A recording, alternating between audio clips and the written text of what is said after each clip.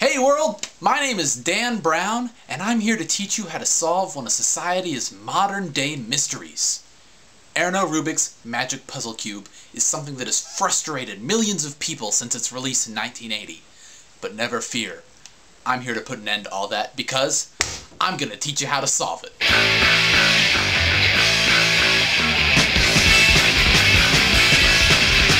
The first thing I'm going to teach you how to do is cheat. If you want to solve the Rubik's Cube without memorizing everything, twist the top layer 45 degrees, put your finger in here or something else if it's an older cube, pry out that piece, and then you can take out all the pieces and rearrange it so that it's solved. While the cheating is easy, it's not nearly as impressive as actually solving it in front of people. So I'm going to teach you how to solve it, but before I can teach you how to solve it, I have to teach you the move notation because you're not going to understand anything if you don't understand the notation. This side, the side that faces you, is the front side. This side is the right side, it's on the right. This side is the left side. This top side is the up side. And this bottom side is the down side. Simple.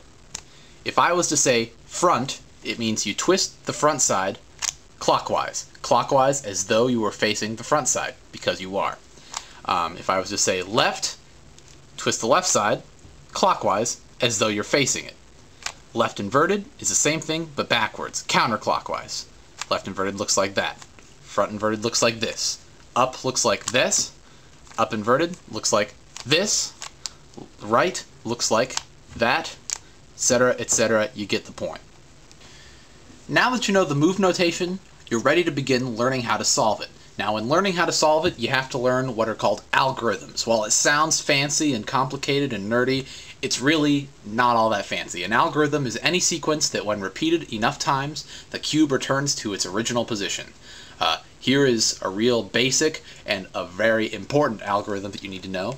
Right inverted, down inverted, right, down. If you repeat that six times, then the cube will go back to its original position. There was one, two, three, four, five, six, and there it is. Ladies and gentlemen, we have now reached the point where we are ready to scramble and begin learning how to solve the Rubik's Cube.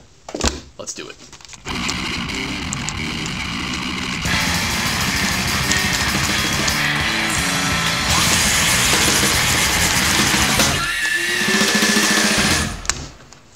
Scrambled, and ready to begin solving. At this point, a Rubik's Cube aficionado like myself would normally look all around the Rubik's Cube for which side has the most already done would be the easiest to solve the fastest. But for you, the uh, beginner, we're going to have you start with the green side on your first couple of solves just for the sake of consistency. It'll make things easier, just trust me. If you want to figure out which side of the cube should be what color, it's easy. Just look at the center piece. This side is the green side because the center piece is green. No way that you move the cube can change that center piece. The first step in solving the green side is going to be solving this green cross. In doing this, we have to look for these four green pieces, one at a time. Let's look for one of them. Here's one of them.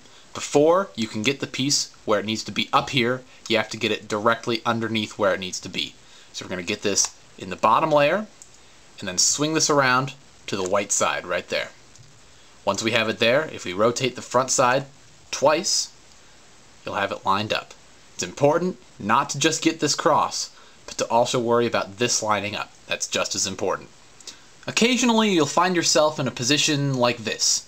You find this green piece right here, green and red line up, you get it underneath where it needs to go, right here, you flip it up, and whoa, it's flipped the wrong way. In the right place, green, red, green, red, but flipped the wrong way. How can you fix it without screwing this up? Well, this is where your first algorithm comes in. This algorithm goes like this. Front inverted, up, left inverted, up inverted. It's a real short, real simple algorithm but it gets the job done. Once you've solved this top green cross, you're ready to start filling in these four green corners. Now, The first part of this is very similar to when you're solving the green cross. Before you get a piece up where it needs to be, you have to get it directly underneath. Now we're going to look down here for a green corner piece. Here's one. It is the green, orange, and white corner piece. We have to get it directly underneath this green, orange, and white corner right here. Uh, here it is. There it is. Now, the algorithm to get it from here up to here is this.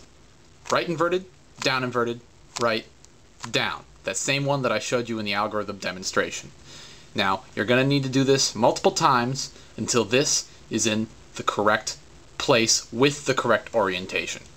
So repeat it. Right inverted, down inverted, right, down. Right inverted, down inverted, right, down.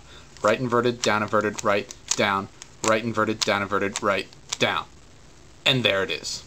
Depending on the orientation of this cubelet when it's directly underneath where it needs to be up here, you're going to have to do the right inverted, down inverted, right down algorithm a different number of times.